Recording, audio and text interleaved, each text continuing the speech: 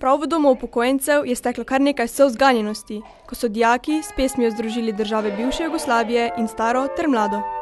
Tako kot je bilo danes, kar je bilo za vse generacije, tako rekoč od mladih do starih, bi bilo treba večkrat ponoviti, zato da bi mi sploh vedeli, da smo mladi, da smo stari in da so vmes še nekateri.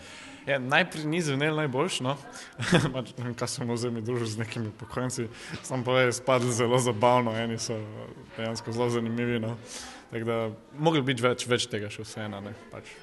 Povezalo je torej druženje, pa tudi pisanje knjige Nepozabno tovarištvo. Pri nastajanju so sodelovali dijaki sedmih srednjih šol držav bivše Jugoslavije. Organizacija in koordinacija takšnega projekta pa je tekla prav na šolskem centru Celje.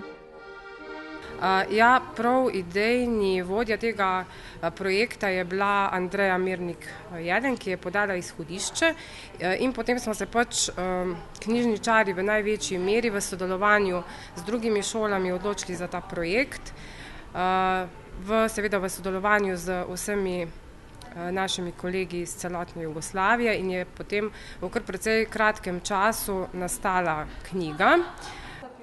Natiskanih je sto petdeset knjig.